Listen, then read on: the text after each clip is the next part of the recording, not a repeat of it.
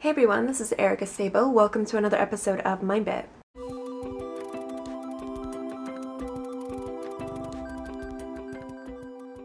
Well, hello everybody. I hope you are well. Today I'm going to be doing part two of my top 20 anime of all time.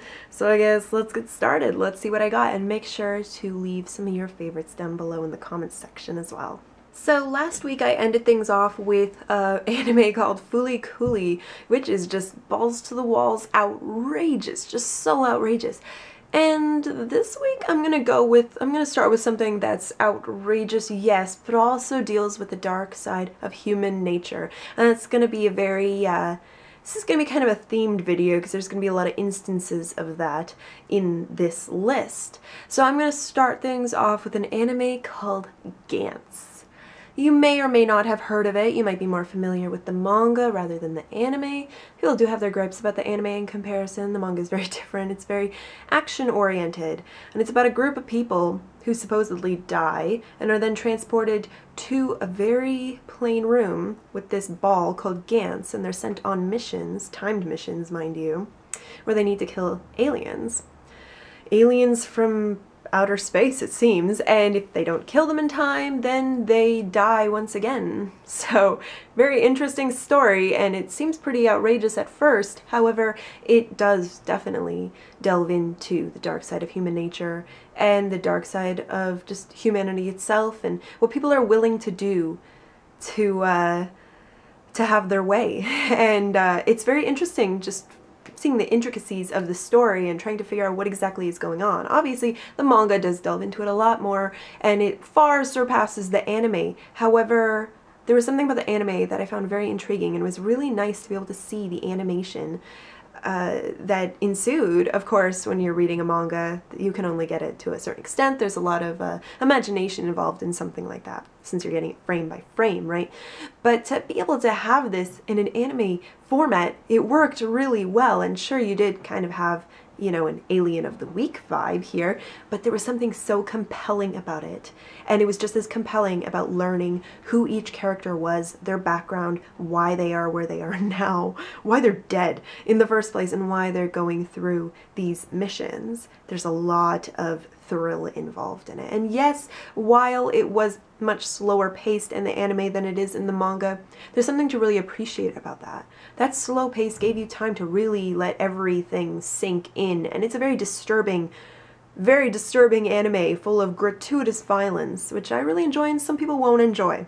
You know, so this is not an anime I would highly recommend if you're not into extreme violence and extreme, like, it's just, there's a lot of bad things going on in this anime and it is very mature for those reasons but it's one that I had such a good time experiencing and I had such a great time experiencing the manga as well. I found it to be a total treat and still gave you a chance to really think about things. So I highly recommend it if you haven't checked it out already. Now, if we want to talk about intricacies in stories and other animes that are very intricate, are very compelling, that might seem very basic at first, but open up into something so much more, then I've got to mention one anime I wish never would have ended, and that anime is Cowboy Bebop. This is uh, similar in a way to Outlaw Star in that it involves uh, space adventurers, uh, space cowboys, uh, and there's something very basic about the idea. However, once you learn more about the intricacies of the plot and the intricacies of the characters themselves, you just kind of get sucked in. You get sucked into the world itself and I mean, it's it doesn't help that the animation for it is amazing, for one. Amazing, absolutely. But the music, Yoko Kanno did an amazing job of this soundtrack. Holy cow. Uh, even if you're not a fan of jazzy music, you are gonna love this because it works so well with the world itself. I, I think one of the things I enjoyed so much about this is the attention to detail in atmosphere, in story. In ways you could say it did feel a little bit incomplete.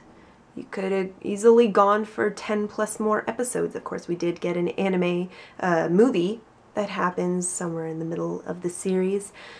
And you could say that the end was a bit on the incomplete side in terms of telling the story uh, and uh, expressing the dilemmas for each character and their personal dreams and aspirations. But it was still really great, and they all had their own distinct aspirations at that too, and you really got to get to know them, and in a very personal manner, to a point where when it ended, you just you didn't want it to end. I did not want this series to end. Sometimes I would like it if they redid it, but at the same time, I don't know if you could actually grasp that same heart that the anime had offered. And it's really no wonder that there are so many people out there who talk about this being one of the best anime of all time because it very much is a classic and it's one of the it's like one of the top tier animes for its kind not just because it's fun loving but because it has a lot of heart it, it there's so much work that went into this and there's so much work that goes into the character development and the story itself and the animation and the music and everything about it there's just something very special about this anime anime and it's uh, it's it's no wonder it is where it is and why people hold it to such a high regard. If you haven't, oh, I highly, highly, highly, highly recommend you check out this anime. Even if you're not into action adventure genre, you, I think you will love it. You will love it, and I think it caters to a lot of different people no matter who you are and yeah, it's just, it's wonderful. It's wonderful, and I'm sure you'll appreciate it just as much. Atmosphere can be a powerful thing, a very powerful thing, and sometimes it can create some of the most compelling anime you could imagine. Now, when I think about atmospheric anime, one that definitely comes to mind and one that absolutely fell under the radar, yet deserves so much more attention than it gets, is Shin Sekai Yori. Now you might remember I did a review of this anime, uh, which I'll post up here somewhere, and I loved it. I loved it. It's not a very old anime, it just wasn't marketed properly, and it's something that I really wish would have gotten more attention. It actually just, the first part came out on Blu-ray as well, through uh, Sentai Filmworks. It's something else entirely. It's in a dystopian world where people have uh, developed psychic abilities and how they are now living and how they're able to survive. Like the the population has gotten immensely small at this point to a point where humanity is almost extinct. And the way that we see how people live their lives and the sacrifices that are made in order to help humanity, it can be selfish, it can be terrifying some of the things that they're so willing to do in order to save themselves. Now, of course, there's also a sense of oppression involved too, because there's now these uh, rat people who have mutated, and uh, the the relationship between the humans and these rat people is insane, and just the origin of the rat people and the things that you learn about them and how they've come to be what they are now. It's very frightening. This is a very frightening series and it relies a lot on its atmosphere in order to keep its viewers entertained and keep them enthralled more so than anything. I don't know if I'd necessarily call this an entertaining anime because it is very disturbing in its portrayal of human nature. Uh, but it's something that I highly, highly recommend any of you check out. And I highly recommend you check out the review too, because I feel like I, you know, right now I'm just kind of going off into my own emotional world expressing this to you, but I feel like I was able to better express that in the review as it's a bit more on the scripted side, right? So it's something that blew me away, and it's not often that you see a series, a new series like that, come out. Yeah, like I said, it deserves a lot more attention than it gets uh, for sheer atmosphere, for just the meaning behind everything that happens. There's meaning in everything, and it's uh, it's it's very disturbing, very real though, and I think that's what makes it most disturbing is how real it really is, and how it delves so much into the unknown. I really enjoy it, and I highly recommend you check it out. Now, if you're looking for more disturbing anime that deal with human nature, probably one of the top tier directors I could ever ever recommend, and this is me cheating a little bit because this is going to be works by one person in particular who I highly, highly, highly respect, and that is Satoshi Kon, the late Satoshi Kon. I, uh, I love his works very much. If you're not familiar with the name, you might be more familiar with The anime he has created, such as Perfect Blue, Tokyo Godfathers, Paprika, Paranoia Agent, these are thrilling to the max. This is like psychological thriller, and it's uh there's something very disturbing, just like how in Shinsekai Yori, it it's very disturbing because it's very real. And what was wonderful about Satoshi Kon was that he was so willing to delve into human nature and he was so willing to delve into the into reality itself and find your dirtiest secrets and find your your deepest insecurities and put them out on stage. I really respect that and it's a very scary thing to do. It's a very vulnerable thing for him to do in the first place. Now, not all of his films not all of his works were that disturbing, such as Tokyo Godfathers. However, what was really great about each of his works was that he was able to depict a sense of human nature, whether that was good or bad. He very often covered the downfall of human nature, but also celebrating human, human nature too and human potential.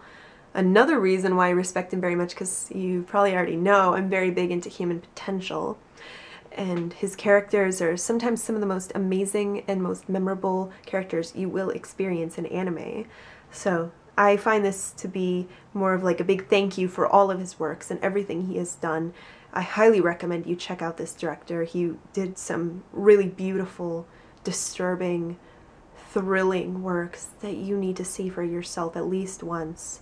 Certainly not for everybody if you aren't comfortable with uh, with themes such as this, but it's something you need to see at least once because it is like kind of like looking in a mirror to an extent, right?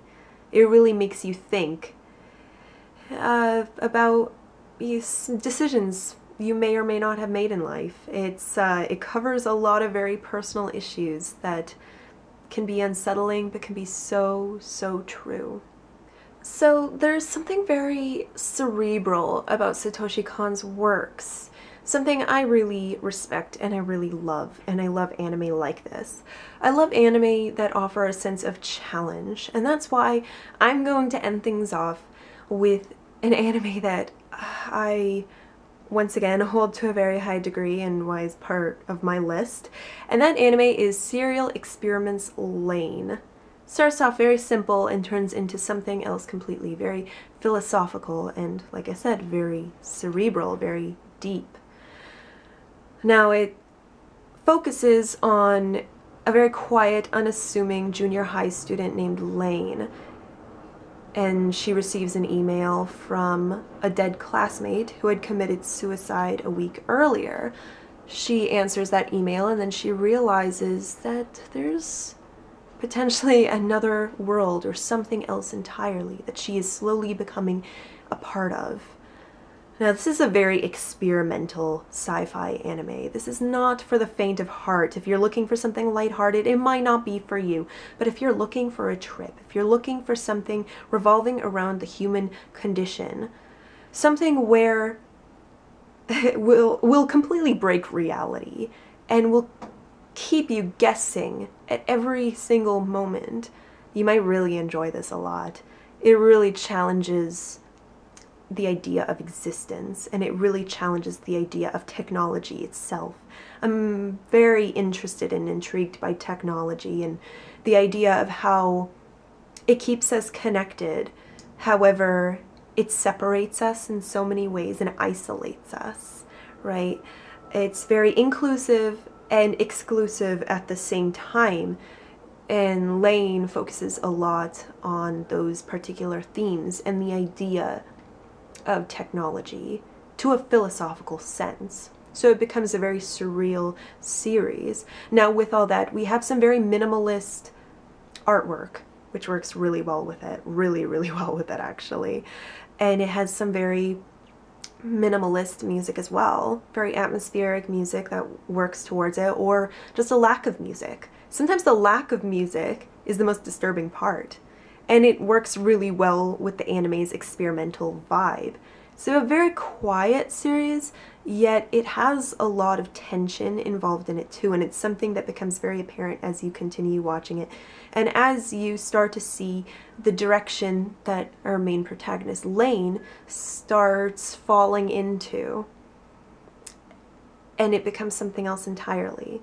I, I love anime that give you that opportunity, that offer that sense of challenge that you wouldn't otherwise get. Something that can still be so surreal and so magical in its own way. It is total magic, total magic, and very creepy. And you know, it's uh, if you're if you're looking for something that is very close to home, something that when it came out, in a way, it was really ahead of its time. And there's a lot of really great sci-fi classics that I could put into this uh, this boat as well.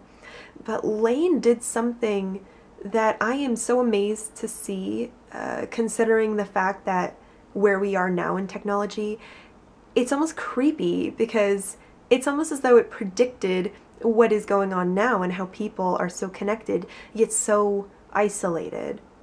I find that really intriguing. And of course, Japan has been a very uh, technology savvy country for a very long time now, so I'm not surprised that something like this came out of Japan. But wow, it's uh it's something else entirely and I love how it kind of goes into a philosophical sense and how it really starts to explore something like it.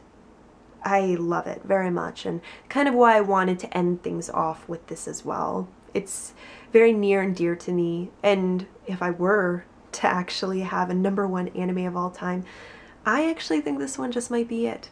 I actually think so. Now, mind you, nothing here is numbered.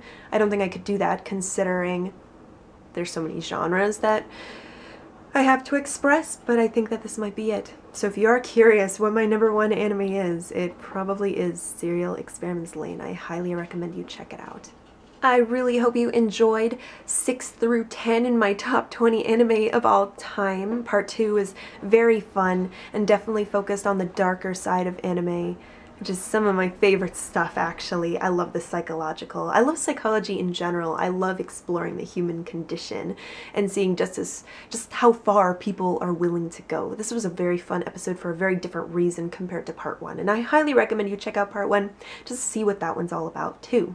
So that means we are halfway now. So I hope you check out next week's video. That's going to be happening next Friday. And then I'll have another one after that with my finale. That's going to be the following Friday. I highly recommend you check it out. If you are an anime fan, and please, if there's anything that you have to say, if there's any anime you'd like to share with me, please let me know.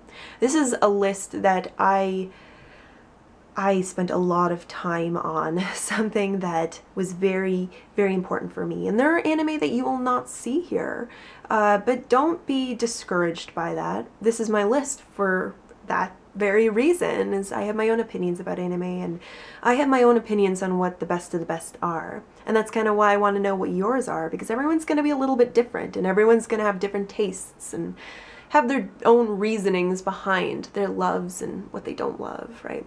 I love that a lot and that's why I ask you guys. I want to communicate, you know, communication is very important, something I hold to a very high regard. So yeah, I really hope you enjoyed and please tune again soon for another video. I'll see you later. Peace.